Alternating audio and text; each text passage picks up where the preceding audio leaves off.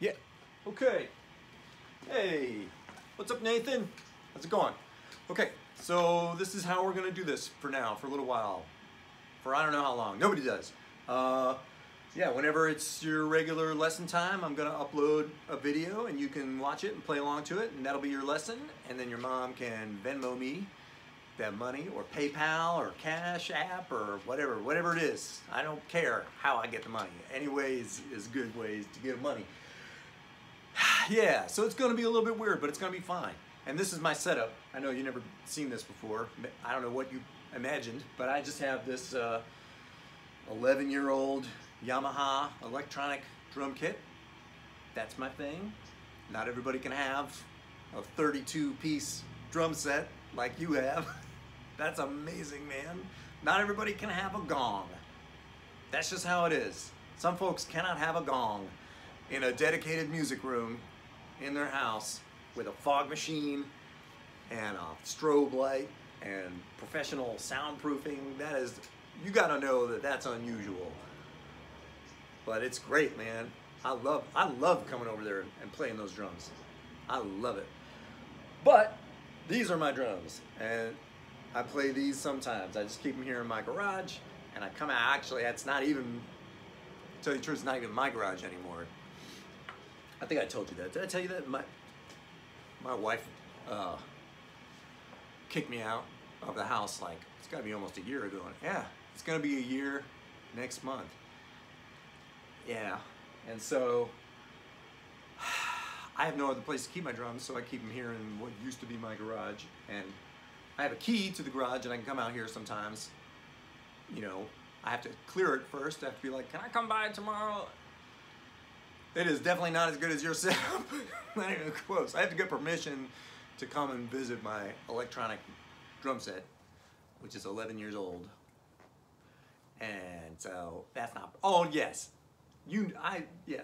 You knew that my wife kicked me out because that night I came by your place and I asked your parents if I could stay in one of their many, many, many extra rooms. and you were there. I remember you were there for that conversation. And by the way, I totally get why they said no. I totally get it. They didn't know me very well at that time. And I didn't, it was not smart of me to show up and ask them while being so obviously drunk. I was obviously very visibly drunk and I do remember too, and I'm sure you remember that they asked me like 10 times how I lost that tooth. And I honestly did not know.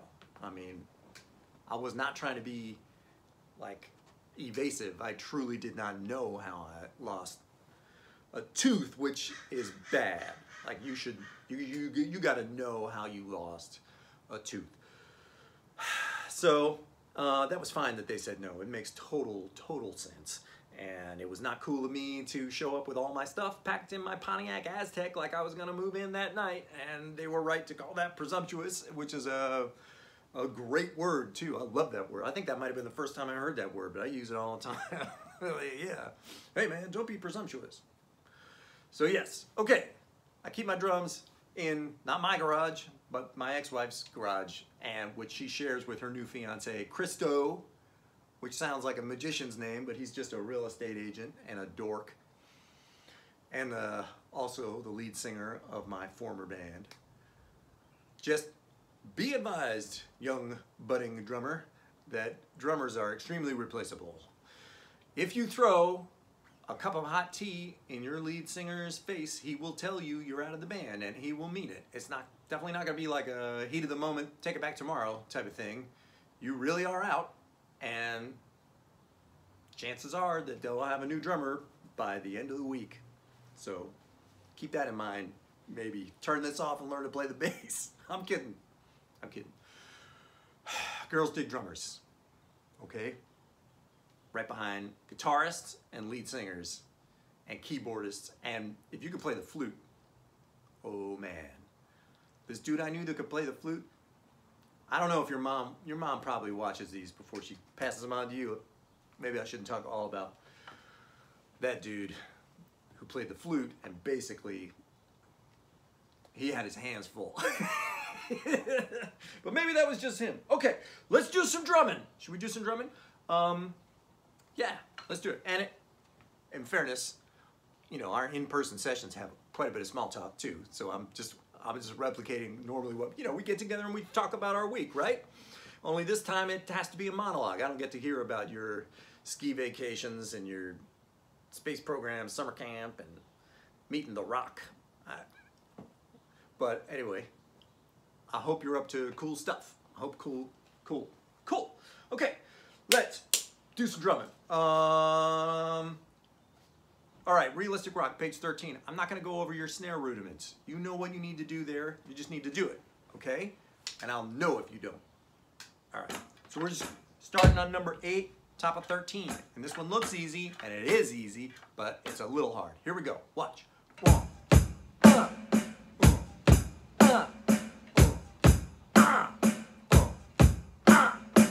That's it, but you see a little arrow over the first snare beat? That's an accent. Do you hear it? So you gotta do that. That's all. That's the only trick on that one. It's pretty easy. But I want you to do it again and again and again and again and again. I want you to do it a million times until it's in your muscle memory, right? Remember we talked about muscle memory. That's what allowed me to beat the crap out of those guys that broke into my Pontiac Aztek when I was sleeping in there, even though I was so asleep. I don't even know how many Ambiens I took. Like if I take one and it doesn't work, I will take another one. And then at that point, I don't know what I'm doing. And the chances that I'm gonna take a third or a fourth, there's no, there's no way of knowing.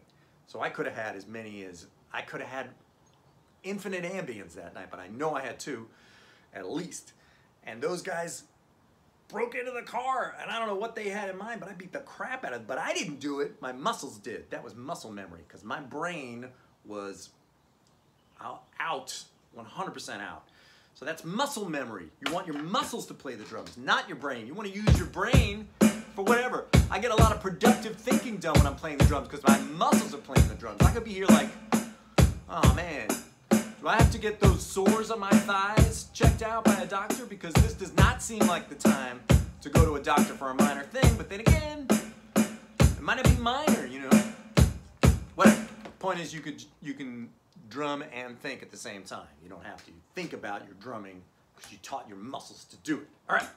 Now, number nine is very easy. It's basically the same thing except you're going to hit the bass on the on the second four. So it's one, two, three, one, two, three, four. And then it's tricky when you repeat it. One, two, three, one, two, three, four, one. You just got to be on the one. You got to be because you're leaving off on the four, you gotta be on the one. Do that one again, do it a million times. And then if you're really feeling brave, you could try number 10, but number 10 is a brain bender that all of a sudden goes from pretty easy, pretty easy to what?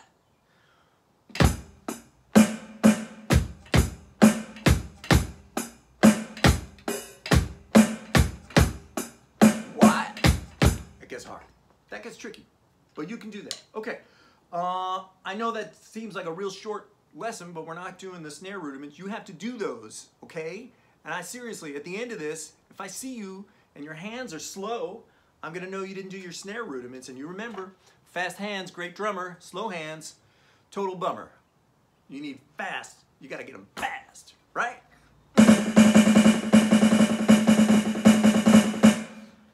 I wish I was I wish I was there to see your face when I just did that because I'm sure you're sitting there like that was a paradiddle. Anyway, I didn't even warm up. Doesn't sound like good. And these don't have these don't they don't have the thing that real drums have. Okay, that's it. That's what you're gonna do. Um, yeah, tell your mom to Venmo me that money, please. And also, by the way, you could tell your mom and dad that if they need anything done at this weird, this weird time, I can I do all kinds of things. I mean, playing drums is my only skill skill, but I I'm willing to do anything. I'm fearless, and I can take a punch, and I have pretty good balance, and I can sometimes get my hands on things that grown-ups are looking for. So you could pass that on. You could say it just like that to your, or if your mom is watching, I can get my hands on certain things. Sometimes. Just, just ask. All right. That's it. Done. Dude, be healthy. take this coronavirus seriously because it's the real deal. Brush your teeth. And I will see you at this exact same time next week.